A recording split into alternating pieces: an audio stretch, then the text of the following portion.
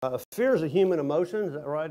Has anybody been fearful in their life? Uh, I've been fearful a few times. As I've mentioned before, when I was young, uh, I was pretty fearful of heights, and I'm still fearful of heights. And when I was an electrician, there's certain things I wouldn't do, you know, and crawl up on girders over basketball courts and things like that, just like somebody else can do that. I'm not doing it. If you want to fire me, that's fine but I'm too good for you to fire. So that one little thing you can just get somebody else to do.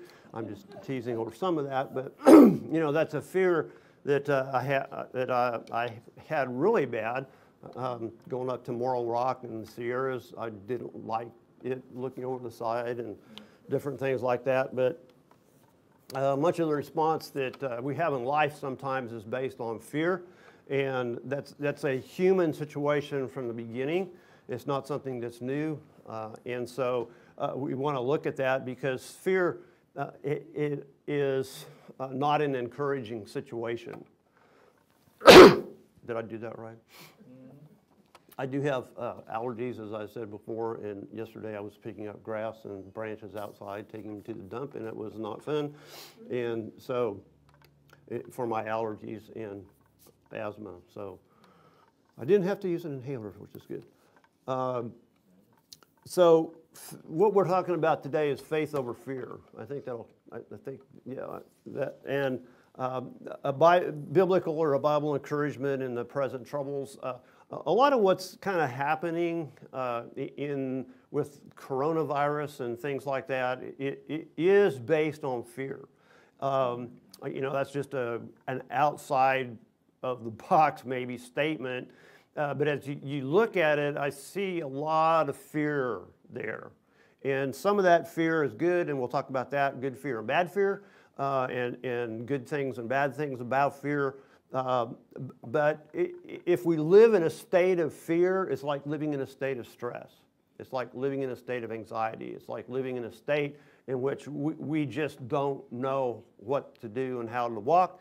And so the Bible talks about faith, fear, and walking in trouble.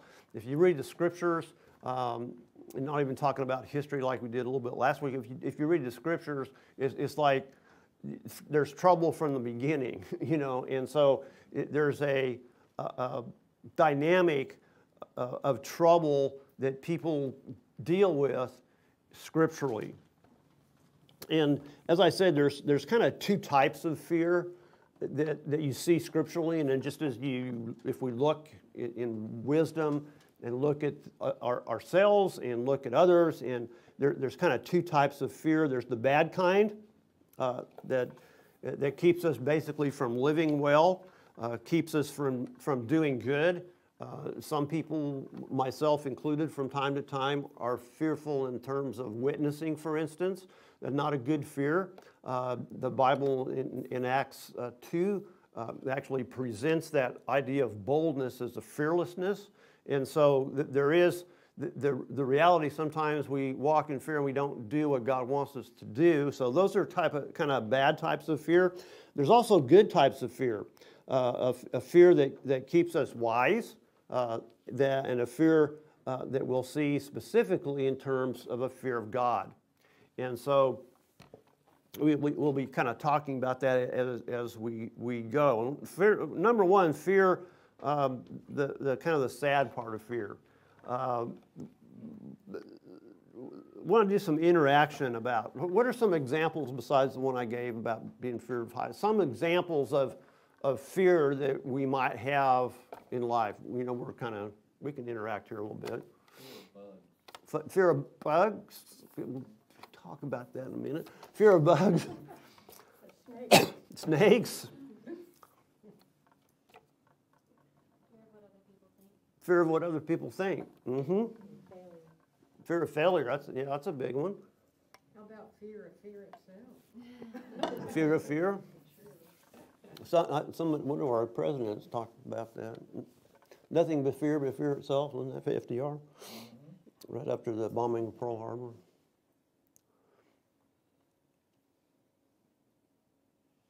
Fear of the teacher. Fear of the teacher. Fear of people or evil people. We're going to talk about that too. Um, traffic. Traffic. You know, I, and there's a reality in terms of like, like the, the pandemic we're having now. If you look, and as I've mentioned before, my zip code is 75211. Um, there, besides being an article in the paper last week, there's an article in the paper yesterday about 75211 because what they're doing. They're actually sending people out into that zip code, talking to businesses and people about how, how to, to do things safely. And so that zip code isn't like higher than all the other places in the whole world. Well, not quite the whole world, but in, in the Dallas County. You know, so there's kind of a, a fear in, I live in a zip code that's really, really, really high. Not this one here, by the way, the one over there.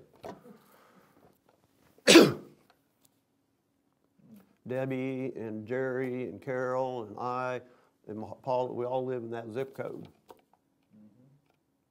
We live in the south end of it, but anything else we can fear? It's kind of a bad example of fear. Well, some of the, I didn't look up, anybody, some of the biblical examples, uh, one is, I didn't hear, I don't think, is like fear of the unknown, right? What's going to happen? What's that? Future. Future, yeah, fu- future. Um, and, and that fear of the unknown is really broad. For instance, the disciples had a fear of the unknown, right? When, when, they, when Jesus uh, was walking across the water, uh, when the disciples saw him walking on the sea, remember they, they were ministering and then they got in a boat and they went out, and then a little while later, Jesus comes to the boat walking on the water, you know, like Jesus can do. And Peter, unless he's, you know, doesn't have faith. And, and so he's walking on the water, and this is what they, they say. They were terrified and said it is a ghost and cried out in fear because it was a fear of what, what, what is that person? What, what's this walking across the water? Now, now was that kind of a, was that kind of a realistic kind of thing for them? Yes. Why, why was it a realistic kind of thing? Yes. What, what's that?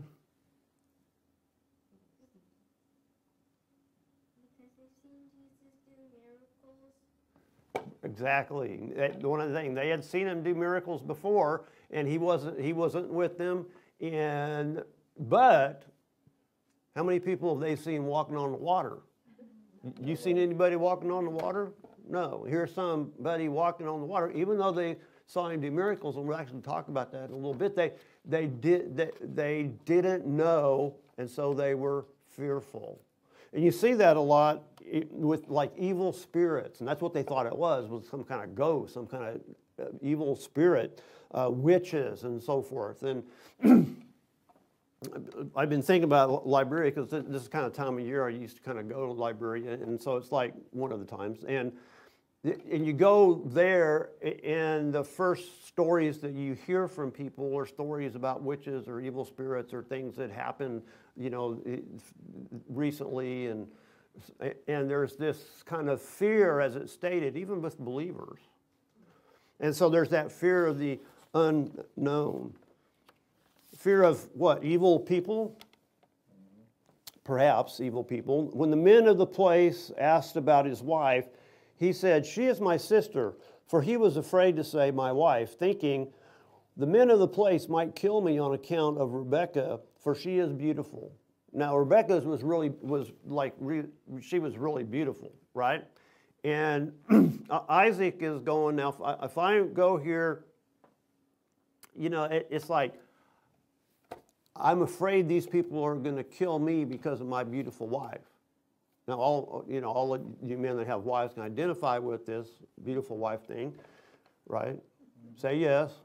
And and it, it's like, it, it, it but what was the fear? Was a fear of people, possibly evil people. Now, of course, he was kind of had heard stories. I don't know whether he heard stories from his father. I doubt it was his mother because his mother probably had a different view of the whole situation. But you know, because this happened before, right? Mm-hmm. And so Isaac is going, you know, he's kind of going after, kind of taking after his father and being fearful. Not, and it's not a good situation, and the Bible doesn't present that as good. It does not even present that fear as, as motivating Isaac to do wise things, but evil things, right? In Genesis uh, 32 11, deliver me, I pray, from the hand of my brother, uh, from the hand of Esau, for I fear him, and he will come and attack me and the mothers and the children. Now, wh- wh- what was this context? Mm-hmm, Jacob. And so here you have, have this line of, of, of men of faith having fear, right? And here's this Jacob who did was not the best brother, right? He stole something from his brother. And so he think, and he took off, and he thinks that when he, they come together, that that his brother is going to kill him. So he walks in fear, and that doesn't really motivate him to do good things either. It Doesn't motivate him to be wise. It motivates him to not walk as he should. Uh, fear we might be found out. In- John 3, it says, For everyone who does evil hates the light and does not come to the light for fear that his deeds will be exposed. Uh, Adam and Eve, what, what happened with them? They were hiding for fear that somebody would see them, right? God. But he who practices the truth, the next verse, but he who practices the truth comes to the light so that the deeds may be manifested as having been wrought in God. So somebody that's walking in the light is walking in faith doesn't have this fear because there is nothing that it needs to be hidden. There's no fear of something that's being revealed. It can also be helpful or debilitating, right? What's this? A wasp. Um, when I was young, I was walking around a swimming pool and I felt something uh, uh, on my foot, uh, on the bottom of my foot, and it was starting to hurt really, really bad because I stepped on one of these and he was continuously stinging me. And so I went and popped it off of my foot, right? And, and so it, it, it was uh, a situation where now I can walk in wisdom. How? Watching that, that, watching that I don't step on a wasp around the pool, right? It's like it, it can give you something to be uh, careful about, to be wise about, or it can be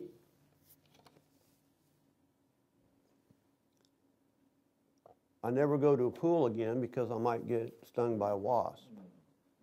And sometimes trauma has that, that, that kind of, Paul went to trauma workshop this last, last Saturday, yesterday and Friday night. And sometimes trauma can, can cause things and it takes a lot of work to deal, and work through those fears because of a, of a traumatic experience. Not that a wasp is traumatic, although it can be. Um, we, have wasps sometimes here and people run away and scream and not, not really too much, but, but, but tho- those things can work out to, to wisdom or they can be debilitating and something that really needs to be worked through. And, and faith overcomes fear. In the Bible, we see that when, when there's fear, uh, oftentimes uh, faith overcomes that. It's not just, well, if you fear something, just don't worry about it anymore, you know, just have faith. Well, that's really not totally what it is, because, like I said, a lot of times it needs to be worked through um, to, to deal with those things, uh, especially the debilitating things. But but faith really uh, has something to do with fear and overcoming fear. Here is a picture. Uh, does anybody know what this picture is? It's a painting on canvas, oil on canvas. I think it is still, hopefully. And it is, uh, here's Jesus in the stern of the boat. And it was, uh, they, they were and he's, uh, Jerry said he's sleeping, and he is on a cushion. To, I mean, it was really very, you know, kind of a well um, written description of what's happening. Here they are. This is a picture, actually, this, this is painted by Rembrandt, uh, and it was in a museum in uh, Boston. Uh, in 1990, it was actually stolen and never, never recovered. Uh, uh, the largest uh, art theft, uh, they think, in the world. uh, and they don't know actually where this painting is anymore. The frames are still sitting there with no pictures, waiting for them to return. But uh, uh, I don't know what ha- that has to do with this, but but th- th- they didn't have a fear of getting caught, enough fear of getting caught, so they stole it. Um, on the day, on that day, when evening came, he said to them, Let us go to the other side. And leaving with the crowd, they took him along with them in the boat, just as he was, and the other boats were with him. And there were, arose a fierce gale of wind. And the waves were breaking over the boat, so that the boat was already filling up. And Jesus was in the stern of the boat, asleep on a cushion. And they woke him and said to him, Teacher, do you not care that we are perishing? And here is Jesus, a, man that is sleeping in the boat because he's just got through with a bunch of ministry and work and things like that, and he's sleeping, taking a nap. And there's gale comes up and he's still sleeping, taking a nap. It- it- it's, it's like the disciples are going, What are you doing? He says, I'm sleeping, taking a nap. Okay? And- he got up and rebuked the wind and said to the sea, Hush, be still. And the wind died down and it became perfectly calm. And so, what happened? And he said to them, because this is a teachable moment, here is Jesus in the stern of the boat, great waves and, and storms, which these fishermen are used to, but can't do anything about, right? They're, fishermen, they're out there. It's not like they're taking a rowboat out first time. They are fishermen. They know this, this lake, they know this sea. And, and so it's, it, it- they can't do anything about this weather. And he said to them, Why are you afraid? Fear. Why are you afraid? How is it that you have no faith? You see, faith and fear are connected here very strongly by Jesus, our Lord and Savior. Faith, fear. You see all this stuff, and we can make it a little bit, apply it maybe a little bit more than, than, than is really uh, there. But I think this storm picture is big because storms and oceans and stuff are kind of symbolic of sin and all kinds of things in Scripture. And so it's very interesting that that's what's used here several times. And so, why are you afraid? Why do you have no faith? They became very much afraid and said to one another, Who then is this that even the wind and the sea obey him? Remember that the wind and the sea, they can't make it obey them, but here is somebody asleep in the stern of the boat that can make the wind and the sea calm. I mean, you would be awed, right? And this gives an indication here. Gives an indication of another part of fear. A fear of this person that they see that has control over stuff they don't have control over. And you see the idea beginning to percolate that this is maybe a divine person and that fear is beginning to arise in them because this is somebody that has control over weather, over the storms.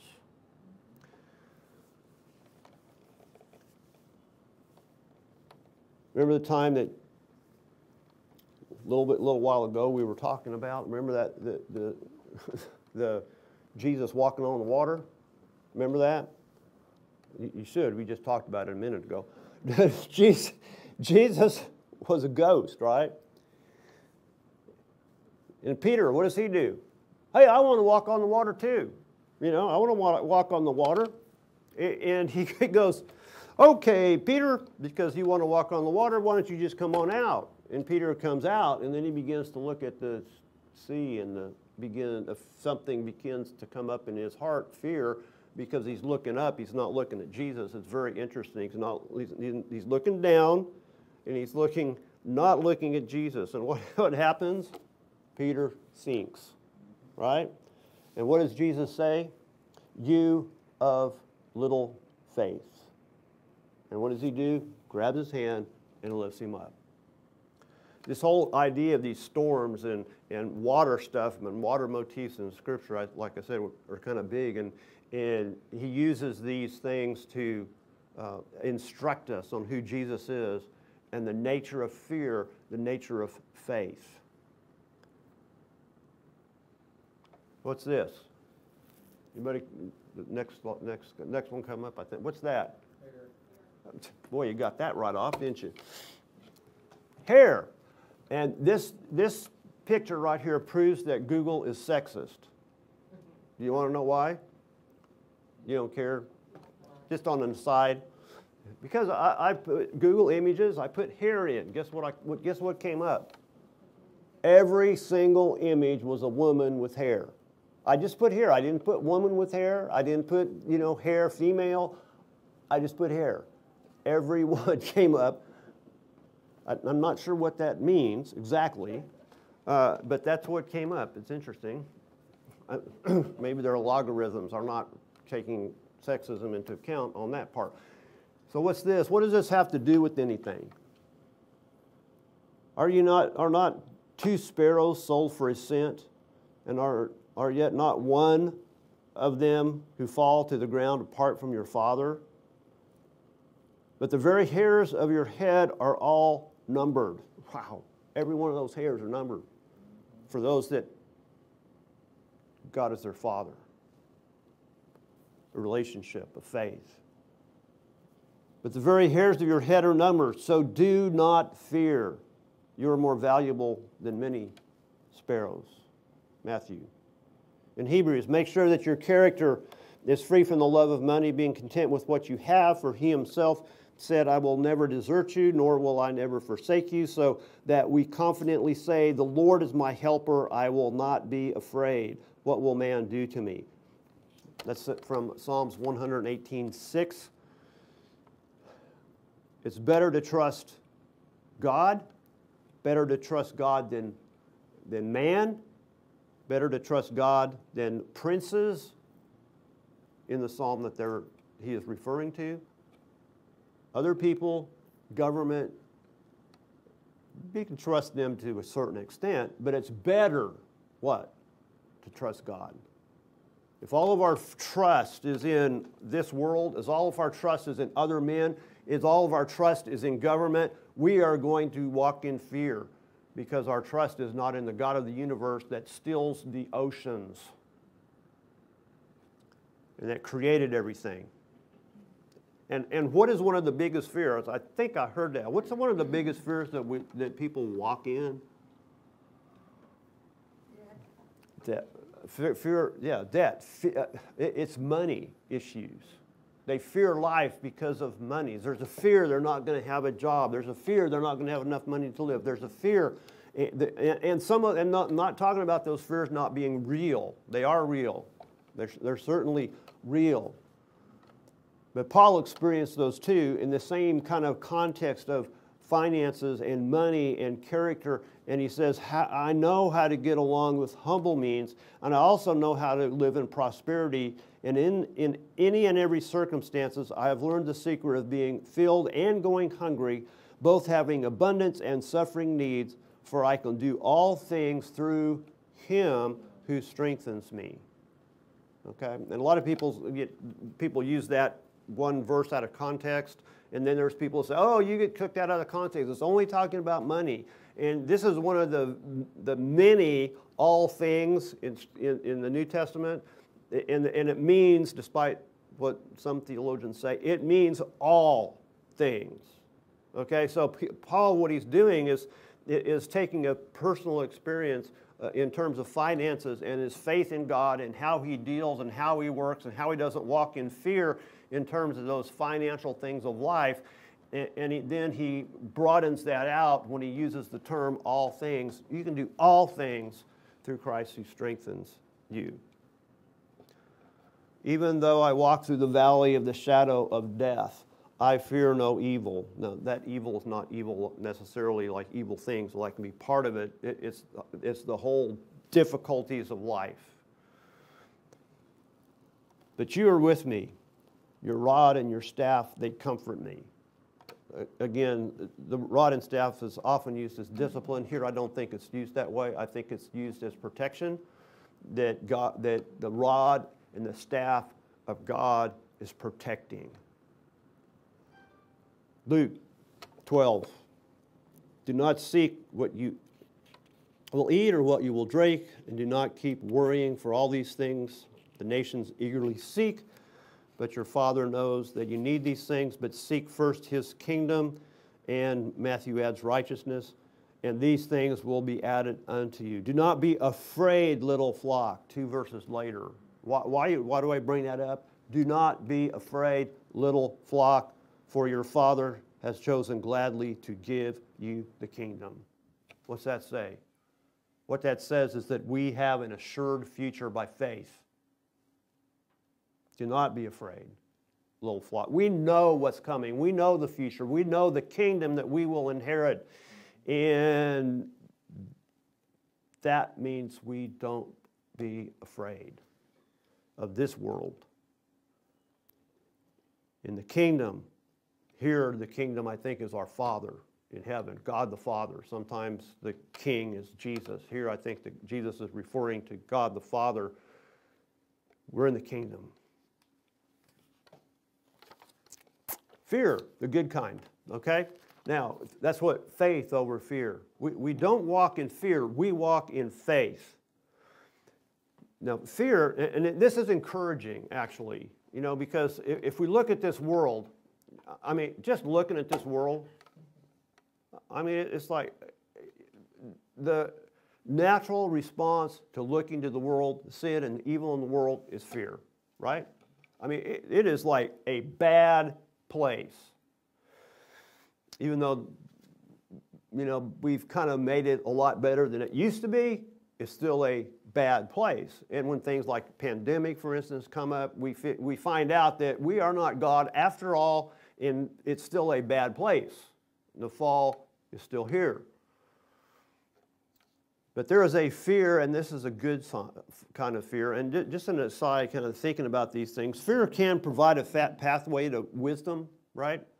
And that's a little bit of what Shane was talking about. You know, we're not, you know, jumping into fire or whatever.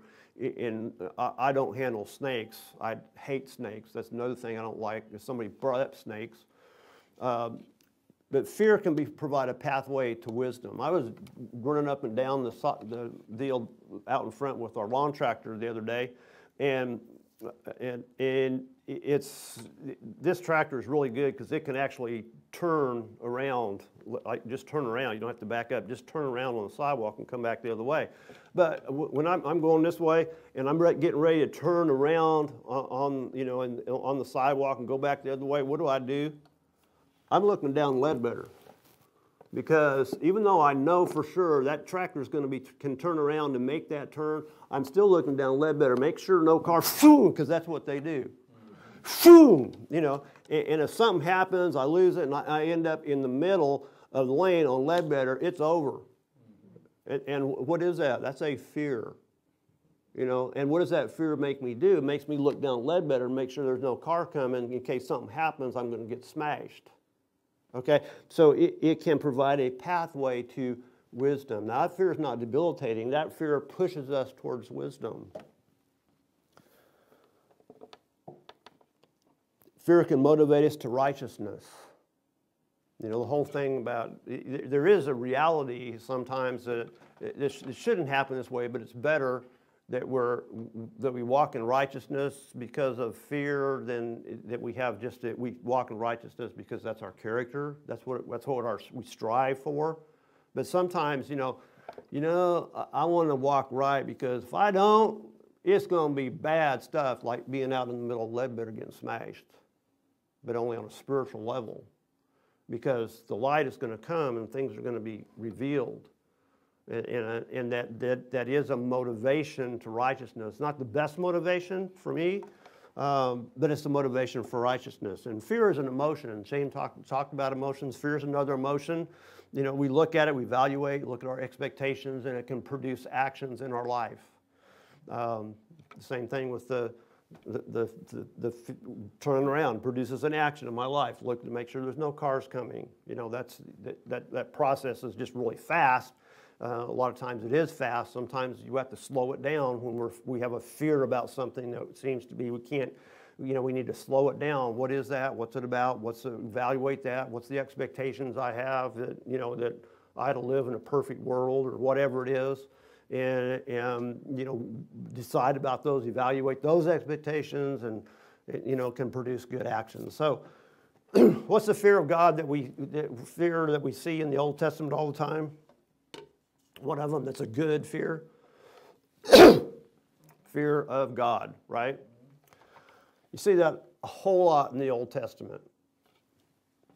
And this is a fear. This and, and a lot of people say, well, that's not really fear. That's like awe. It, it sort of is. And some of the words for fear in the Old Testament are awe, as are the New Testament. You know, it, but he, he, there's also a reality to God is fearful. Okay? And we need to realize that, that, that God, you, kind of look at, at God, and, and if we didn't have Jesus, it'd be a fearful thing. And, and it's like there is that aspect of Old Testament fear of God. And it's part, and it's part and parcel of faith. He said, I hear the sound of you in the garden and I was afraid. Why? Because he knew God.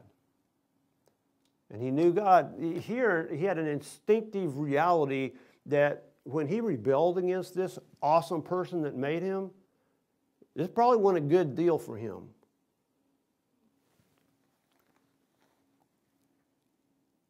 He said, Do not stretch out your hand against the lad, for nothing, do nothing to him, for I know that you fear God since you have not withhold your son, your only son, from me.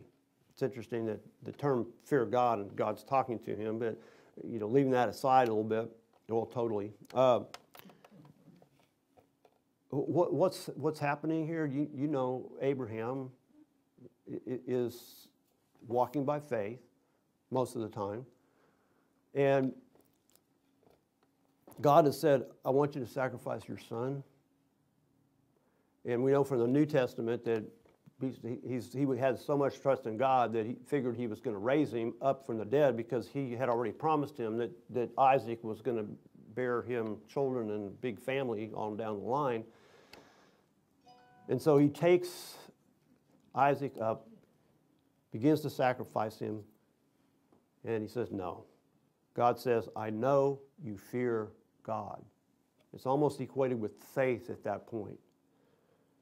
But the midwives feared God and did not do as the king of Egypt commanded them, but let the boys lived, live. Because the midwives feared God, he established households for, for them. Leviticus, uh, these are just a few. Leviticus, you shall not wrong one another. You shall fear your God, for I am the Lord your God. That's Old Testament reference for what I was talking about is fear sometimes helps us walk in righteousness because you fear God. Again, there's this combination in, in, in uh, faith combination in here, but there's a fear aspect to it. You're scared. There's a scariness of God. Fear in the Old Testament, Deuteronomy. You shall follow the Lord your God and fear him, and you shall keep his commandments and listen to his voice and serve him and cling to him and Psalms, praise the Lord. Blessed are those who fear the Lord and find great delight in his commands. Do not be wise in your own eyes. Fear the Lord and shun evil. This will bring health to your body and nourishment to your bones. Ecclesiastic. In conclusion, as Solomon's looking back over his life, he says, When all have been heard, is this fear God, keep his commandments, because this applies to every person. For God will bring every act to judgment and everything which is hidden, whether it is good or evil. Now, some people say, well, that's only in the Old Testament. You know, that's an Old Testament concept to, to, to fear God, right? That's not in the New Testament because the New Testament is a whole different thing. It's all about love, and it is. God loves us, and, and, and perfect love casts out fear. It does cast out the wrong kind of fear, fear of judgment, because God loves us. We love God. We don't fear judgment. But fear of God is in the New Testament too. The same kind of idea. And it's not just in the Gospels. In fact, you know, we'll start in Luke. But I will warn you who to fear. and Jesus is saying this fear the one who, after he has killed, has authority to cast you into hell. Yes, I tell you, fear him. This is really fear. So be a, this is fear him. And who's he talking about? He's not talking about Satan, he's talking about God. God is the one who can cast somebody into hell. He is the only one that can do that. Okay? Nobody else can do that. Vengeance is mine. He's the only one that has all the whole story. And he's the only one that can do it. And you want to fear somebody? Don't fear him that can just do things to you. Fear him who has an eternal judgment in mind in coming. Fear him. That's Jesus, by the way. In Acts, so the church throughout all Judea and Galilee and Samaria enjoyed peace, being built up and going on in the love of the Lord. Okay, I'm not saying anything about bad about love. Love is huge. You know, God is love. You know, we walk in love, uh, love God and do what you want, you know, all that kind of stuff. But right here it says this is after Pentecost. This is a, after the start of the church. Going on in the fear of the Lord and in the comfort of the Holy Spirit. It continued to increase. And be subject to one another in the fear of Christ. Paul in Ephesian letter. In relation to how we work with one another, there's still that aspect there. So then, my beloved, just as you have always obeyed, also in my presence only, but now much more in my absence, work out your own salvation with fear and trembling. And finally, Jesus says, Peace I leave with you, my peace I give you. Not as the world gives, do I give it to you. Do not let your heart be troubled, nor let it be fearful. Why do we end with that? Because that's what Jesus says to us. This, he's talking about the bad kind of fear, the fear that's debilitating, the fear that, that um, does not lead to faith, the fear that kind of keeps us from walking successfully in this fallen world. He says, Peace, peace I leave you, my peace I give to you, not as the world gives, do I give it to you. You know, you look at the world to give you peace. I look at the world to give me peace. Real easy to do that, right? Especially in our 20th century reality where we have conquered nature, we have conquered the world. We are, you know, and then something like a pandemic comes along. We, again, we see that we are not so hot after all. But don't look at this world to give it to you. What's faith? Not looking down, but looking up right from the beginning, as he talk, eh, God talks about faith with Abraham, look up. Don't look at this world, look up. Don't look at the people that are going to kill you because of your wife, look up. We live in faith, not fear, in this fallen world. Okay? Fear God, walk wisely in peace. Let's pray. Father, we thank you for who you are. We do realize the awesome nature of who you are. Your character of goodness, your love. But we also understand that you are the God of the universe that you have and exist in righteousness. And when that righteousness is not according to you, there is something to fear. Father, we thank you for Jesus. Because of faith in him, we don't fear that. But we do walk in faith. Father, help us in this, these times of fear and difficulty and trouble to, to walk in faith, to not focus on this world, walk in wisdom, yes, but not walk in fear, not wisdom, but walk in faith. In Jesus' name, amen.